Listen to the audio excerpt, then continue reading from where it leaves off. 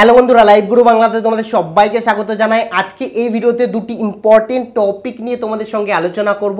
এক, তোমরা যারা স্কুলের পড়ুয়া রয়েছো, তোমাদের স্কুল খোলায় কিছু স্কুলে কোভিড নিয়ে সমস্যা হচ্ছে। এ, এক্ষেত্রে তোমাদের কি করণীয় সেই নিয়ে বিস্তারিত আলোচনা করব। এছাড়া যারা কলেজের স্টুডেন্ট রয়েছো, তোমাদের কলেজ খোলা নিয়ে একটি নতুন তথ্য সামনে এসেছে। ভোটের কারণে কলেজ তোমাদের কবে খুলতে চলেছে এবং তোমাদের এবছর কি কলেজ খুলবে? যদি কলেজ খোলে, সেক্ষেত্রে কত মাস কলেজ তোমরা করতে পারবে? কবে থেকে কলেজ করতে পারবে? সে নিয়ে বিস্তারিত আলোচনা করব এই ভিডিওতে। সেই কারণে পশ্চিমবঙ্গের কলেজ কিংবা স্কুলের স্টুডেন্ট হয়ে থাকলে এই ভিডিওটি প্রথম থেকে শুরু করে শেষ পর্যন্ত ওয়াচ করো। আর এখনও পর্যন্ত ভিডিওটিকে লাইক না করে থাকলে অবশ্যই ভিডিওটিকে লাইক করো এবং চ্যানেলে নতুন দর্শক হয়ে থাকলে রেড বাটনে ক্লিক করে চ্যানেলকে সাবস্ক্রাইব করার সাথে সাথে বেল আইকনে অবশ্যই ক্লিক করো। কেননা এখানে প্রতিনিয়ত স্টুডেন্টদের জন্যই ভিডিও আপলোড করা হয়। তো চলো বন্ধুরা, ভিডিওটি শুরু করা বন্ধুরা, সবার প্রথমে স্কুলের জন্য কি আপডেট রয়েছে সেটা নিয়ে আলোচনা করব, তারপরে কলেজ কবে খুলছে কলেজ নিয়ে কি আপডেট রয়েছে সেটা নিয়ে আলোচনা করব। দেখো, তোমরা সকলেই জানো স্কুল খোলার আগে তোমাদের জন্য, অর্থাৎ স্টুডেন্টদের জন্য একটি গাইডলাইন দেওয়া হয়েছিল। যেরকম স্টুডেন্টদের জন্য গাইডলাইন দেওয়া হয়েছিল কোভিডের বিধির ই সেরকমভাবে কিন্তু একই রকম গাইডলাইন ছিল শিক্ষকদের জন্য, অভিভাবকদের জন্য। তো প্রত্যেকের কিন্তু একটা দায়িত্ব থাকে সমানভাবে সমস্ত কিছু করার। তো এখানে শিক্ষক, বিভিন্ন স্কুলের শিক্ষক, যেমন তোমাদের আগেও বলেছি যে চিত্তরঞ্জন ও কসবা চিত্তরঞ্জন হাই স্কুলের এর একজন শিক্ষক, সেই শিক্ষকে কিন্তু রীতিমতো কোভিড হয়েছে। তার সংস্পর্শে থাকা আরও দুজন শিক্ষক রীতিমতো জ্বর এসেছিল, অসুস্থ হয়ে পড়েছিল, তাদেরও পরবর্তী সময়ে দেখা গেছে কোভিড ধরা পড়েছে। এবং ওই শিক্ষকদের, ওই তিনজন শিক্ষকদের সংস্পর্শে যে সমস্ত স্টুডেন্ট ছিল, তাদেরও কিন্তু কোভিড টেস্ট করা হয়েছে। তাদের দিকে নজরদারি রাখা হচ্ছে। যদিও এখনও পর্যন্ত তাদের যে রিপোর্ট সেটা এখনও পাওয়া যায়নি যে প্রত্যেকটা স্টুডেন্ট সুস্থ কিনা। শুধুমাত্র কিন্তু এই যে কসবা চিত্তরঞ্জন হাই স্কুলের ক্ষেত্রে এটা ঘটেছে তা না।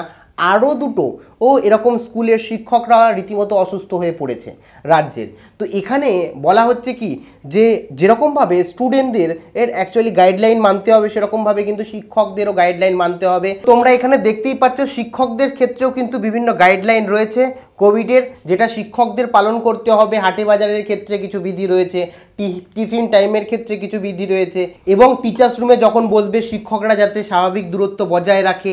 এই এছাড়া যখন ক্লাস নেবে, তখন মাস্ক পরা আবশ্যিক। তাছাড়া বারবার জীবাণুমুক্ত করার জন্য হাতকে স্যানিটাইজ করা। এছাড়া ধাতব অলংকার একটু কম পরিমাণে পড়া এই সমস্ত যে বিধিগুলো রয়েছে, সেগুলো কিন্তু শিক্ষকদের ক্ষেত্রেও রয়েছে। শিক্ষকদেরও কিন্তু মানতে হবে। আমি আশা করছি যে শিক্ষকরাও প্রত্যেকে এই বিধিগুলোকে মানছে এবং স্টুডেন্ট তোমরা যারা রয়েছো, তোমাদের আমার স্বাস্থ্যের দিকে বেশি নজর। সেই কারণে বারবার তোমাদের একই বিষয়টা বলি, মাস্ক স্যানিটাইজার ছাড়া স্কুলে যেও না। একেবারে যেও না। আর যাদের এই ধরনের ওই স্কুলে পড়ছে, যেসব স্কুলে শিক্ষকরা অসুস্থ হয়েছে, এ সেই সমস্ত স্টুডেন্টদের যাদের আছে রিপোর্ট দেওয়া হয়েছে, আমি আশা করব তাদের যাতে এ প্রত্যেকের রিপোর্ট নেগেটিভ আসে। আর তোমরা প্রত্যেকে স্কুল যাচ্ছ, যাও, অবশ্যই কিন্তু সমস্ত বিধি মেনে মাস্ক স্যানিটাইজার নিয়েই কিন্তু স্কুলে যাবে। তো এই মুহূর্তে শিক্ষামন্ত্রী যেটা বলেছে যে স্কুল অব্যাহত থাকবে। ভোটের আগে পর্যন্ত, আর কিছুদিন পরেই ভোট রয়েছে, তোমাদের স্কুল বন্ধ হয়ে যাবে, কিন্তু তার আগে পর্যন্ত স্কুল যতদিন খোলা আছে, ততদিন কিন্তু মাস্ক স্যানিটাইজার নিয়েই তোমরা স্কুলে যাব এর পরবর্তী বিষয় কলেজের পড়ুয়াদের ক্ষেত্রে, তোমরা সকলেই জানো, তোমাদের যে এক্সামিনেশান রয়েছে অড সেমিস্টারগুলোর ফার্স্ট সেমিস্টার থার্ড সেমিস্টার এবং ফিফথ সেমিস্টার সকলেরই কিন্তু অনলাইনে মার্চের এর অ্যাকচুয়ালি আট তারিখ থেকে ছাব্বিশ তারিখের মধ্যে নেওয়া হবে ইউজিসির গাইডলাইন অনুযায়ী।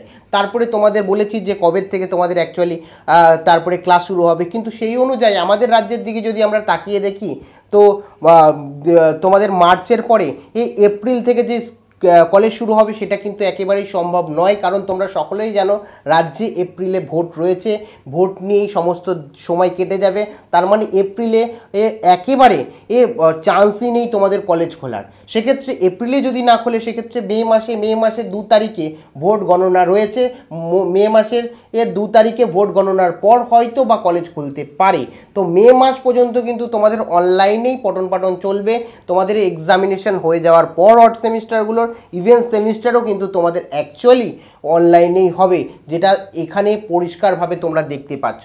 এর পরবর্তী বিষয় যে তোমাদের ইউজিসির যে গাইডলাইন সেই গাইডলাইন অনুযায়ী কিন্তু নভেম্বরে মানে তোমাদের বলেছিলাম যে আগস্ট মাস থেকে তোমাদের পরীক্ষা চালু হয়ে যাচ্ছে। এ, কবে কি পরীক্ষা হচ্ছে, কবে তোমাদের ছুটি থাকছে, কবে অ্যাকচুয়ালি পরে শিক্ষাবর্ষে উঠছ, সমস্ত ডিটেলস নিয়ে কিন্তু ভিডিও করে ফেলেছি। যারা দেখোনি, পুরো বিস্তারিত জানতে চাও, তোমাদের কলেজ সম্পর্কে শিডিউল সম্পর্কে, কবে তোমরা সেকেন্ড ইয়ারে উঠছো, যারা সেকেন্ড ইয়ারে পড়ছো, তারা থার্ড ইয়ারে উঠছো, তা নিয়ে রীতিমতো ভিডিও করে ফেলেছে। আই বাটনে এবং ডেসক্রিপশনে লিঙ্ক দিয়ে দেবো। তো ওখান থেকে তোমরা ওই ভিডিওটি দেখে নাও, না জানলে। তো এখ- এখন কথা হচ্ছে তোমাদের এর নেক্সট যে শিক্ষাবর্ষ, সেটা ইউজিসির গাইডলাইন অনুযায়ী কিন্তু নভেম্বর মাস থেকে চালু হচ্ছে। মানে আগস্ট মাসের তিরিশ তারিখ পর্যন্ত তোমাদের যারা যে ক্লা মানে সেমিস্টার দিচ্ছ বা যে বর্ষে রয়েছে, সেই বর্ষের পরীক্ষা শেষ। এস, এবং নতুন শিক্ষাবর্ষ চালু হচ্ছে নভেম্বর মাস থেকে। সেক্ষেত্রে যদি মে মাসে ধরে নি চালু হয় অ্যাকচুয়ালি ঠিক নেই যে মে মাসেই চালু হবে। দেখা যাচ্ছে আরও পেছাতে পারে। যদি স্বাভাবিক পরিস্থিতি না হয় বা অন্য কোনো প্রবলেম দেখা যায়। আমি ধরে নিলাম যে মে মাস থেকে অ্যাকচুয়ালি তোমাদের কলেজ শুরু হচ্ছে। সেক্ষেত্রেও কিন্তু, ও, তোমরা খুব বেশি কিন্তু অ্যাকচুয়ালি সময় পেলে না। ইভেন্ট সেমিস্টারগুলো পড়ার অফলাইনে তাহলে কি কলেজ এবছর মাত্র, ও, দু মাস কি আড়াই মাসের হবে? সে নিয়েও কিন্তু প্রশ্ন উঠছে।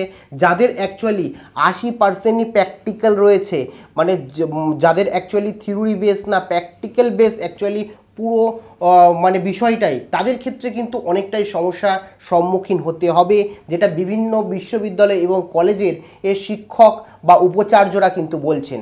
তো এ বিষয়ে তোমাদের মন্তব্য কি? তোমাদের সাবজেক্ট অনুযায়ী তোমাদের প্র্যাকটিক্যালটা কত পার্সেন্ট রয়েছে? এবং সেই প্র্যাকটিক্যাল কি অফলাইনে মাত্র দু আড়াই মাসে শেষ করা সম্ভব। অনেক অনেক ক্ষেত্রে দেখা যাচ্ছে দু আড়াই মাসও পাওয়া যাবে না ইভেন্ট সেমিস্টারের জন্য। যদি মে মাসে চালু হয় এখনও ঠিক নেই যে মে মাসেই চালু হবে কিনা। সেক্ষেত্রে তোমাদের কি মনে হয়? অবশ্যই কিন্তু কমেন্ট সেকশনে তোমরা তোমাদের মন্তব্য প্রদান করতে পারো। আর তোমাদের কি সাবজেক্ট রয়েছে? আর প্র্যাকটিক্যালের জন্য তোমাদের ইউনিভার্সিটি বা কলেজ অ্যাকচুয়ালি কি ডিসিশন নিয়েছে বা কীভাবে তোমাদের প্র্যাকটিক্যাল করানোর পরিকল্পনা করছে বা কতটা প্র্যাকটিক্যাল শেষ হয়েছে, সেটাও কিন্তু কমেন্ট সেকশনে লিখতে ভুলো না। তো আজকের মতো এইটুকুই। আবার দেখা হচ্ছে অন্য কোনো ভিডিওতে। Take care bye bye